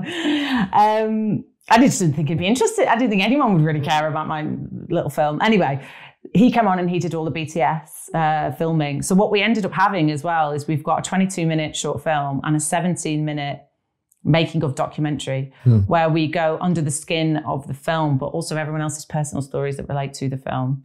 Um, and he filmed that. And then my sister. That, that's what I was thinking because you said like there are so many people who actually shared their stories, even from people who are from from Kickstarter. You you could actually do like an additional piece with like just just all, all the interviews and just combine them together as yeah, nice. Yeah, so we have, we've got that. Obviously, whilst changing tides on the festival circuit, you can't have it online to screen anywhere else.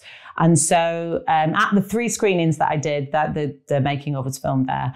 But then once it's, um, once I can get changing tides out there, then the two will be out there together as well. So tell me, how is it going with festivals? So uh, it's go- so far so good. Uh, festivals are again a lot of rejection. By the way, uh, also big question. Yes. I know it's a big like big struggle, but can you explain the process? How you apply for festivals? What is the usual process, and how you choose festivals you want to be in? Yes. So uh, there are quite literally thousands of film festivals. Um, there is a site called Film Freeway. There are other sites as well that you can use, but Film Freeway is a bit like a portal. that has all of these different festivals on, um, and you can search for different criteria. Like short, like if you wanted to just do screenwriting, you just do screenwriting, and it'll show you the screenwriting competitions or short film or whatever. They vary. The range of entry fee varies widely, um, so you have to think about that. So on the fundraising that I did, um, I always had in mind that that budget, some of that budget is for this part as well because Mhm. it costs a lot of money. Um, and wh- what's a lot? wow, gosh, some of them are like if you get like a late entry, some of them can be like a hundred quid. Yeah, if you can get early bird entry, obviously that's the best. Mm. Um, yeah, so there are film festival strategists that are out there. Mhm. Um, some are reportedly better than others. Um, but yeah, I think you can also do your own strategy Yeah. as well. Um, so one of the things that I looked for with Changing Tides was anything that is got a mental health slant, um, anything that's got a social impact slant, um, things that are um, festivals that are up and coming, um, festivals that have anything as a, a category as new filmmaker, Mhm. New director, those sorts of things, and then a couple of wild card, expensive, um, bougie ones that you just you know got to hope for and see see what happens, uh, and then anything within the locality of which it was filmed, also because obviously there's a festival in Lytham, which is uh, down the road from Blackpool. Um, and obviously have you know it's a hometown film so there's more likelihood hopefully that it would get in so those are the things that i would say is uh, you know pick a if you're a horror film you know definitely don't ever submit to something that's potentially rom-coms Mhm. uh, so just think about where is your genre where does it fit um, where does it what audiences would want to see it Mhm. um, and Do, do, do you think about like uh, how prestigious is the the the? Yes. Like, were were there any kind of you know festivals that you thought like no, I don't even want to touch it with with with a stick? Yeah. My my my, Uh, no, I think there's a couple of festivals that I've gone. Like I'm waiting to, I'm waiting to hear from one in the next few days, and I'm like, well, I don't think I'm going to get it, but why not? Why not apply anyway? Because you know, and it's win it. Mhm. Um, so some of the like big like BIFA qualifying, Oscar qualifying, um, those sorts of things. Um, BAFTA qualifying, they're obviously a lot harder to get into because a lot more people apply for them. Like I think um, I went to Sundance last year. In fact, I go to Sundance London. I go every year for the last few years, but I can't because I'm in Romania this year. Um, but they say their festival programmer they normally get something like fifteen thousand shores. Yeah, which is insane, right? Yeah. And then obviously there's also things with my film because it's 22 minutes. So like there's a wonderful festival called Tweet Fest that I go to every year that I love. Um, but I can't submit for that because you've got to be 20 minutes and under. Mhm. Um, so you know, so there's different criteria that you have, but I don't think I think everything every festival's got its own merit. Um, if it's if the festival if it's screened at the festival, it's more prestigious than if it's viewed online. Um, but you know, just getting into a festival is good because the, as I said, thousands upon thousands upon thousands of people. enter. How do, I'm, I'm just curious, like with festivals like that, but like with so what do you say, fifteen thousand of, That's Sundance, so bear in mind. but still like it's like cream of crop. who is the jury who decides like this is will get into the like how how many people are watching this? It's not like there is one guy who just like okay, a lot more. But no, but they have. So they have a panel of people, and that's their full time job. Like, like some festivals will outsource to some people who, who watch them, but the majority of the big festivals they have a panel of people who it is that is that's their job, um, and like some of the festivals, but the film will be watched by three people. So you'll tend to have like that'll be the uh, feature festival team, uh, the, the features team, sorry, the documentary team, the shorts. So they won't have to cross over. Arguably, they've probably got it better because it's the shorts. they watch more, but then they're having to watch a lot, a lot, a lot, a lot. You know. But then you would turn it, uh, so they would watch it, and then I, I guess they say maybe, and someone else then watches it, maybe, and then then they decide if it's going to go through. I mean, obviously, uh, it's a bit like a self tape, I think, also. Um, it grab you in the first portion of it. If it doesn't grab them, then probably they won't watch all of it. That's also the danger. So the sweet spot with a short film is 12 minutes Yeah. or 10. You've got a lot more chance of getting in. So I know that I've hindered myself on it being 20 minutes, but I think particularly with changing tides, the film festivals is the icing. on- It is, you know, it's a yeah, it's an icing on the cake. The whole purpose of it is is so other people that care for alcoholics and, and who love to have that life are seen. It's more what about what happens to it after the festival. It's just that this gives it validation. Um, but if you are writing a, a film to do well in a festival and that's your strategy, then uh, sort of 12, 10, 12 minutes is your your sweet spot. Yeah. So how long will be your your festival run? Uh, it's normally 12 to 18 months, uh, depending on when the last one is, uh, the last festival that's happened. So I only started uh, putting them in in February. I only started finding out about them in, uh, where are we now? In May. Yeah, it was about May or June. So I've so far been a finalist at um, Liverpool Indie Festival. I've been in Lift Off Manchester and Wolverhampton. Just. Uh, so yeah, and I'm waiting to hear. I think there's about oh, I don't know. There's about 27 that I'm waiting to hear from. And tell us more about your award. Yay! so uh, I was at the wonderful Wolverhampton Film Festival um, just the other weekend. Um, there's such good people as well. Like I, I don't think I've been to a friendlier festival. Um, and so we got selected, which was huge. Just to even be selected, it's a three day event. Um, and I messaged them because it was on the same weekend that I was doing a 21 mile hike for NACOA. Um, so they very kindly moved my screening to the Sunday. So I did the 21 mile hike um, in the Peak District, and then the next morning we drove. We, I don't drive. Adam drove to Wolverhampton, um, and we watched the, sh- the film there with our achy legs. And then we went to the award ceremony that evening because it was nominated for Best New Filmmaker uh, with seven other films who were nominated, and it won. Nice.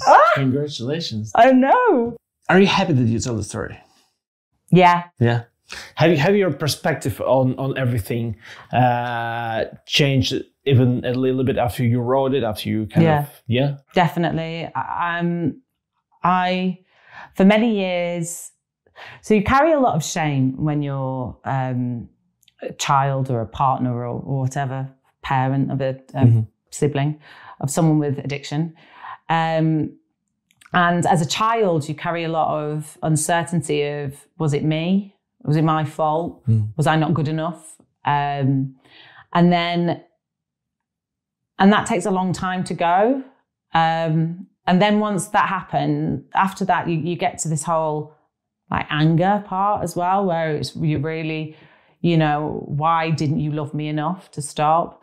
And I think from doing this, I feel such a sense of calm about it now. I feel so like I, he was just a flawed man. He was hmm. just a very troubled, depressed man. He didn't, you know, it's it's a mental condition. It's not. He wasn't. He wasn't doing it to hurt me or anyone else.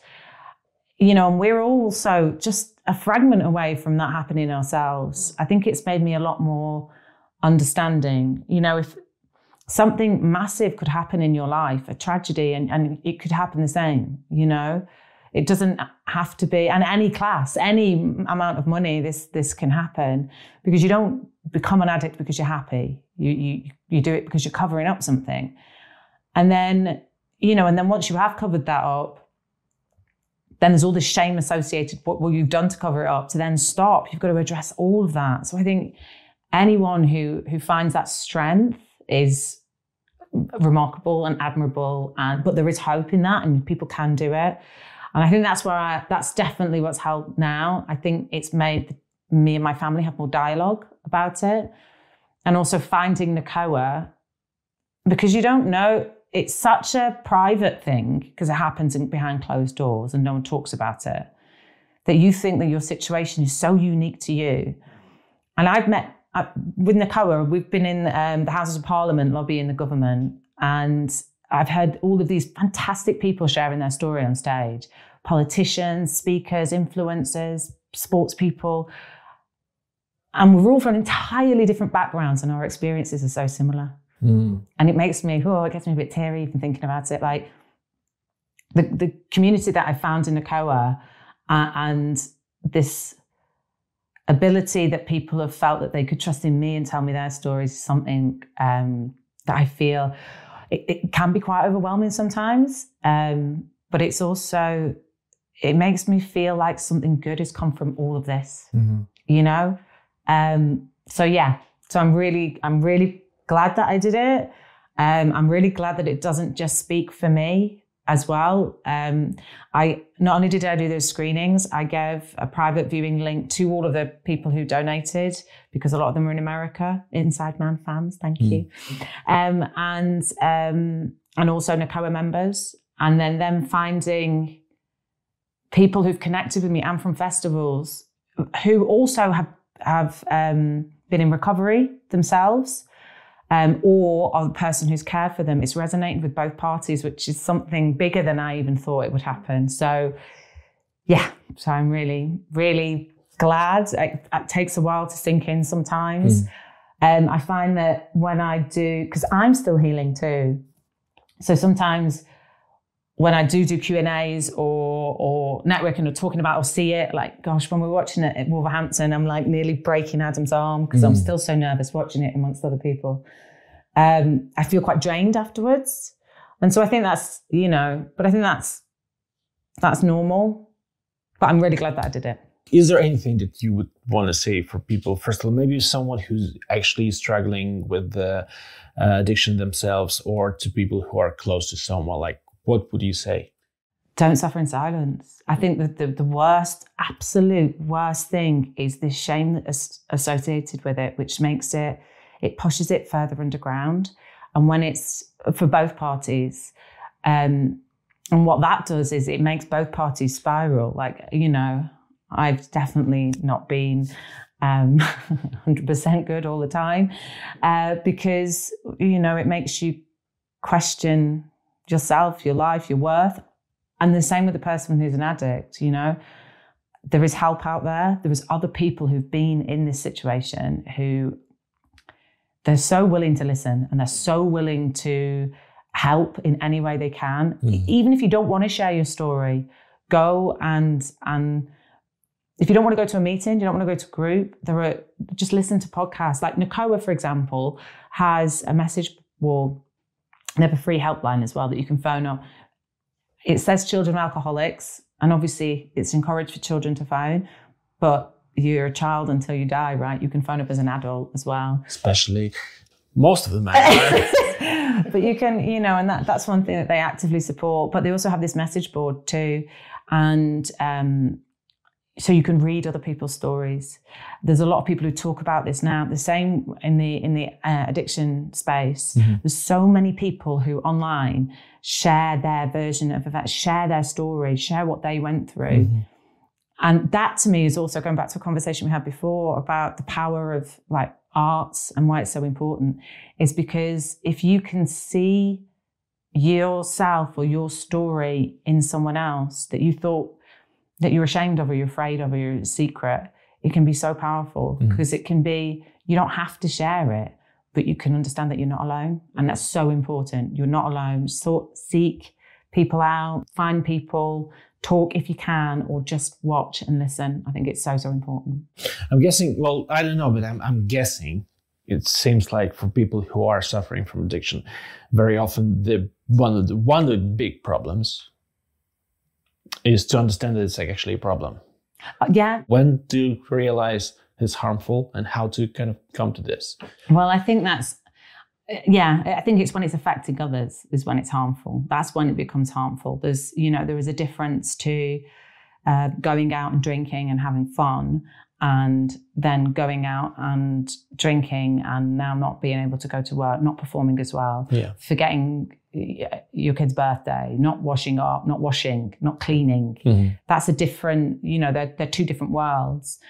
And I think once it starts to slip into the neglect of oneself or, or of others, then that's when it starts to become a problem. But the thing is, is that you're the only person who can see that. You're the only person who can want to change. You mm-hmm. can't have, and that's what's hard for the people around you. Um, because the other people want you to change so much, but they cannot help you. They cannot. There's nothing that they can do. And so that's why the other people, there's other groups as well, like there's Al Anon, which is, um, it's like the AA, but it's for the people that are, um, are the family of an alcoholic or, or the narcotic drugs. Um, because for them, it, they're always wanting the change and they're seeing the, the, person, it's like they, they become a shell of who they form, former were. But and, and you you'll argue with them, you'll scream at them, you'll want validation, but they have to want the change. They have to want it. And I think so that's the hardest point. If they don't, my dad never did. Some people don't, you know. Um, but then therefore, if we'd have known that there was other services for the rest of us, then that might have helped the rest of us. And I might never have taken all those years out of acting. Who knows? Mm. Um, but um, but yeah, so I think it's if if if you yourself thinks that there is a problem, then you know you go and see go and sort help. If you are affected by somebody else's problem, then then you do that for you. You're doing it for you, um, and you, they can teach you ways of communicating and trying to, but you can never change anyone. Mm-hmm. That's, that's the truth. It's true. Uh, for someone who suffered from minor addiction to nicotine, which is not the same, but I mean, like, and I started stupidly. I started smoking when I was thirty before wow. 30 i never smoked before and then like uh, I, I smoked like started smoking stupidly when i was 30 and i just basically i just quit this january so like 10 years i was smoking wow. for 10 years and then this january mostly because well i don't have money now for smoking especially in the uk yeah. it's extremely expensive but uh, again like i knew that i wanted to quit exactly it wasn't like you know at some point, like I, the, because I tried to quit some time ago, and I even quit successfully for seven months. well done. still, still successfully. Yeah. But I was like, my girlfriend, she was like, she didn't like me smoking. I was like, but I kind of, I still wanted, I was craving, you know, for a cigarette for a long, long time, and then I started smoking again. But this time, it feels very different because I, I just stopped because I didn't want to do it anymore. But yeah. that's that's the main thing. I think you have to want to it has to be you yeah exactly. I stopped i used to smoke loads as well and i stopped i can't remember when now. Because i don't that's the other thing is that when you've truly stopped you don't even count anymore. Yeah yeah yeah. You know it's like, i don't know it was years ago. But i used to smoke all the time all the time. It was drama school non-stop. It was, it was in the fag shed. And then it just got to the point and it was i was so i was so sick of it. So like i can't this i'm so sick and it was still when you could smoke in pubs, and I was working in a pub, and I, it just, I think I woke up the next morning and I had a hangover, and I was smell it all on me, and I was like, oh no, that's it, done, mm. and then mm. just yeah, but you have to. But it, there was, again, bit like we're talking about everything. It formulates in your brain for ages first. It's not just a I'm going to stop. You can't do it that way. And it's also like in the film.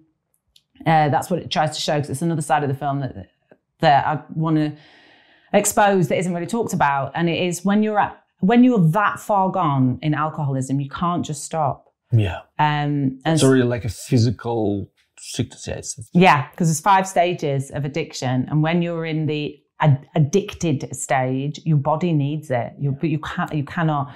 So there's a point where he tries to stop, and um, and then he has psychosis, and so that's another thing that uh, and that scene is actually almost verbatim what my dad said about me when I was in London. Um, and uh, that's another thing that's not not talked about is alcoholic psychosis. When you are that bad, because your liver is no longer functioning, you're that close now to death. It's, you're, you're close to multi-organ failure. Mm-hmm. Um, and that's something that I don't think is ever, I don't think I've ever seen it anywhere in a film before. So it is also happy. there is also hope in the film as well. But I wanted to show the raw reality of the situation, yeah. you know, because it is stark when it gets that, like, don't get that bad, essentially, you know, if you can. Have you thought about, like, so basically you had a feature uh, length script for it, right? Uh, I had a TV pilot length script, a 57 page script, which I'd, I'll have to go back to it sometime and look at. Um, but have you thought about maybe making it a feature? Because it's like it feels like the story uh, could be very interesting. It also has like, as I understand, like there is kind of interaction between like the, the, the older guy and the young guy. So kind of like we've seen something similar in like in in, in films, but not maybe with this topic. Yeah, it's something that I'm toying with. There's still I've got another I'm not. I feel like I'm not quite done on this topic. I'm still writing other topics as well at the moment, but I feel like I'm not quite done on this topic, and I'm toying with how I want to, what avenue I want to go down. That do I want it to be more of like an anthology sort of series, or do I want it to be a film? I'm not sure because I want to show because the ten, you know, if it's like the red thread is is his is his addiction or her addiction if it was to change, but um, and it's the tentacles of how that affects all other people um, that really interests me because I think it's we don't ever really see stories of how it affects the others. Um, so it is something that I'm yeah I'm, I'm st- that's one that's still mulling still working its way through. I'd love you to do more. Well, uh, so I've written another. I'm on my just about to start my fifth draft of another short, and uh, my second draft. I'm also one of these writers who just doesn't do one thing at once. I don't know if you've noticed that from everything that I've said already. But um, the yeah, my second draft of another one. So there's still definitely there's definitely more coming, um, and I'm hopefully producing a short um, with the girl who played B. Um, but you know we're, we're in very early stages of that yet we're going to see if we can get funding and things for that and uh, so there's definitely more coming definitely more more there's i'm full of ideas at the moment. It's just funding at the moment is the issue. Uh, so yes so i want to apply for some funding for the one short it's a, it's a dance thing uh, short film. It's about a girl who's uh, just at the last stages of her dance career who finally gets her the pinnacle role that she she wants, but will an unexpected pregnancy derail her and give it to her younger rival? And there's a few twists and turns in it.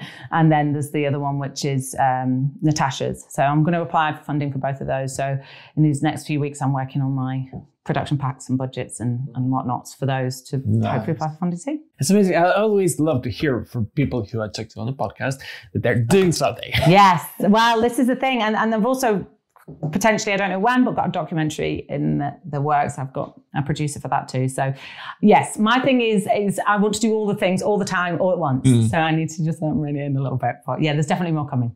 So, what would be your advice for people who want to start filming, writing, doing acting? Let's start with acting. Okay, acting is, I would say, learn. Learn how to act. It's not a case of just getting up and walking and talking and speaking. Um, do, you know, there's a, BBC Writers Room's got all of the scripts. Get some of the scripts, work on it at home, practice, practice learning, practice doing a character, practice doing the opposite of the character the way that you've seen it. You know, have a go, practice. Do you think, uh, like, for, for people who haven't done any acting, just thinking about it, do you think it's worth starting doing it at home, or like it's better to find class, like? Well, if you can, if you're in if you're in a part of the country where you're lucky enough lucky enough to have classes, or you can have online classes, then do. Um, if you're not, you can just do it at home still. You know, there is no, you don't have, there's no, there doesn't have to be a barrier. Um, and yeah, and try it out. And then thankfully, there are thousands of classes at the moment that are online. So test it, see, try, experiment. Also, think that class is the best way to learn. You don't have to get it right in class. You experiment and you try in class. Um, so you might not want to go with a top casting director and do that as a class. You know, you might want to do an actual drama class. Um, so I would say do that. I'd say practice, learn, go and watch TV, theatre, film, whatever you can watch, absorb it all. Listen to podcasts about how other people do it, read books about how other people do it. You know, you need to, and then it's a business. Find out what's happening in the industry. You need to, if you really want to be in it, you need to be in it. Yeah. Nice. And for writing, I guess Same. the same. exactly the same. writing, by the way, is one of the things that is free. Yes. I mean, you if you already have a device, any device, even well, writing on the phone probably is not, but some people actually write on the phone faster than I'm on a Yeah. keyboard, or you know, just write a note, but like start writing. Yeah, exactly. And then also write write parts for yourself. Read it out. Yeah, exactly. Oh, by the way, yeah, reading out. Like if you wrote something and then you read it out loud, out loud for sure, Out loud. Always out loud. you will hear the problems straight away. Yeah. Yeah, exactly. That's also another thing with acting. Pick up a novel, read it out loud. Mm-hmm. Mm-hmm. and then well basically making your I think that's a bit harder making your Yeah. own film directing producing. Yeah, so I would say, okay, obviously, like I've, you know, I've gone a bit extra in doing my first ever film as a 22 minute drone shot big thing. You don't have to do that. Don't, don't do that. Don't be me. Um, you've got a smartphone, you've got a camera there all the time. You know, just get a couple of mates, practice. Just just have a go. You know, have a go, edit stuff. You can do it on your phone even. You can edit things on your phone. And also there's so many things on Instagram and um, TikTok and X, keep wanting to call it Twitter, about how to make films, how to make short films. Learn, watch films and see what is it that I like about them. And loads of brilliant podcasts as well. So yeah. Yeah, yeah, and I gotta say, like now doing this podcast, there is so much stuff on YouTube that is amazing and free, and you just like even even simple color, color grading, editing, like everything. There is so much tutorials. So Yeah. just start. I think that, I think it's a class. You know, if you want to do it, you've got to learn it. You've got to learn. You do have to take the time to learn. I think there's a bit of a thing now where people just want to know like that, don't they? I think, I think, uh, I thought about it. You know, like people a lot throw this word talent around, which I don't think we actually know what it means because I don't think that talent is not something measurable. Like, like uh, in most of the cases, because I think that talent is when you're really enjoying the process of doing and learning. hmm And also growing. I think it's growing as well. Like, you know, you don't get to be a painter in the, the National Gallery if you only pick up a paintbrush every once a year. It's a, it's a muscle, and it's also a muscle memory. And also the thing is, is I always question like, if you don't want to do it all the time, then do you really enjoy it? Yeah. Is it really what you want? What is the reason you're saying you want it if you don't want to do all of that work? Yeah, yeah. And when you say like you want a result, like what kind of result? Like what result do you want? Yeah. What do you see as a result? Because I think a lot of people think have this like misconception of success in acting, for example. Mm. What is success? Some people think that success is acting is being on the red carpet, which is nice, of course. I, I understand that, but I think for me, success in acting is being able to act all the time and support yourself, Yes. You know? yeah, yeah, yeah, No, exactly. but doing acting, just Yeah. acting. yeah, exactly. Yeah. Exactly. Yeah. What's next for you? We've got Romania filming uh, for The Inside Man. Um, these two shorts and a documentary, three shorts and a documentary. Um, and then hopefully some more acting and voiceover work. I mean, that's so uncertain, isn't it? So, God, knows when that's going to happen. But hopefully that will also happen during that. But I know the things, again, going back to what you can control, I can control when my two shorts are made that I've written. So they're, and the documentary. Okay, look, the only thing that we have left right now hmm is a blitz round. Okay. And there is, Dreadful at this. just so you know, Yeah. no right or wrong answers, Okay. no prizes, no point of doing it. okay. okay. okay, texting or talking? Talking. Oh, it depends. I'd say generally talking. Yeah. Cats or dogs? Dogs. Okay. Your one guilty pleasure. Oh, well, I've got a lot. That's really tough. I'll tell you my most embarrassing is um, there's a yodeler called Mary Schneider who's just brilliant to hoover to. There you go. All right. uh, what makes you laugh? Uh, loads of things. I laugh all the time. I think it's the most important thing in life. Yeah. Okay, then what makes you, makes you angry? Oh, what makes me angry? Um, ignorance, I think. Yeah, definitely. People being ignorant and slow walkers. Move over to the side of the pavement. Uh, do you have any nicknames? Uh, yes, cat, obviously. Um, Katie, but that's strictly for my family. And uh, some of my friends call me G because of Georghiou. Okay. Yeah. Uh, what dish do you cook best? Probably, it's definitely Southeast Asian. Maybe pho. I love Southeast Asian foods. It's that, and I love cooking, by the way. Love it. I used to have a, an Instagram channel called Cat Cooks Dinner. Oh, really? Yeah. it was successful? Uh, it was during COVID, and then I decided to do acting, so Ah. we kind of just stopped. uh, your favorite character in any fictional story, like book, video game, I don't know, uh, film, series, cartoons? Favorite? Gosh, that's hard. Oh, because I love. Oh, you see that? I don't really have a favorite in anything. I'm going to just go for the one that pops into my head, Lady Macbeth. I love her. She's so like flawed and troubled and feisty. Star Wars or The Lord of the Rings? Lord of the Rings. Yes. Love the Lord of the Rings. Devoured the books. Yeah. Uh, do you have any unknown and expected talents? No, I don't think so. All right. How often do you cry? Most recently was when Jim shouted action on one of our scenes.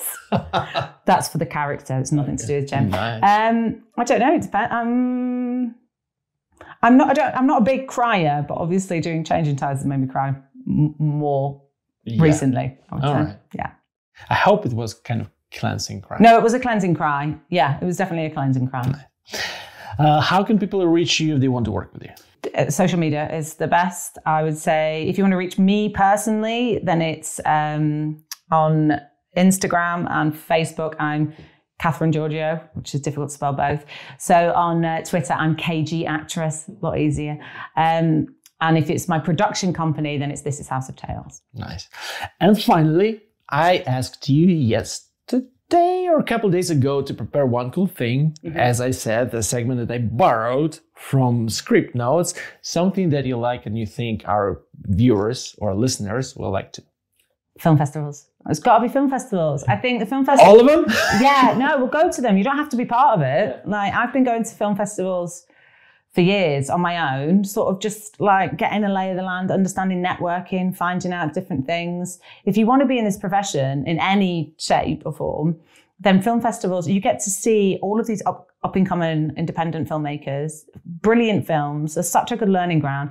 And everyone on the indie circuit is so welcoming. They're so willing to connect and chat and Because everyone wants to work. Everyone wants to work and they want to work together. You see, that's the other thing is, you know, um, there's another, another podcast that always says, send the lift down, send the lift back down. If you've gone up to the top, send it back down.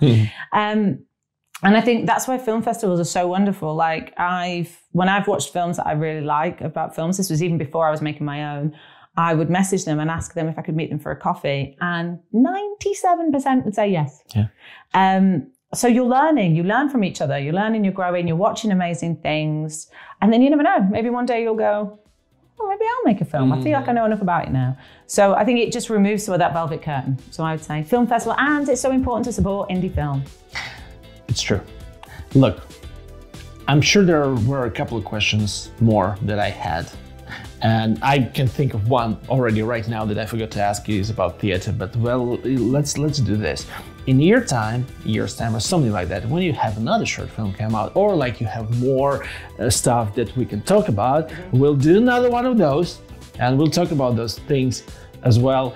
Thank you very much. Thank you very much. Thank you for being so open, uh, so so welcoming, and um, it was great. Thank you. I loved it. yeah, it's good. You, if you liked it, like and subscribe, or don't. No, hit that like button. yes, yes, please do. Thank you very much. Bye, guys. Bye.